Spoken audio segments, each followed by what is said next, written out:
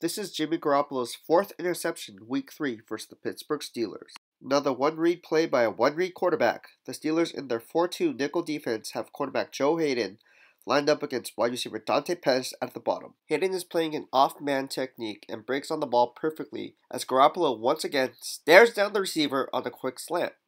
The slowly developing play was a play action five step drop where both receivers break their routes 9 yards in. The Niners show max protection but unable to match up against the fast, aggressive, and physical Steelers front seven. Outside linebacker Bud Dupree comes crashing hard off the edge in the zone blitz play call, forcing Garoppolo to a decision make a throw or take the sack. He chooses the former. This is becoming a bad habit where he doesn't live to play another down.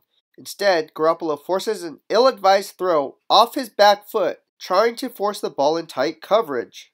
There was no power under his throw and little to no weight transfer from the hips up. The slowly traveled ball afforded Haden to break on the ball perfectly, allowing free safety Minkah Fitzpatrick to reap the benefits for his first interception of the season.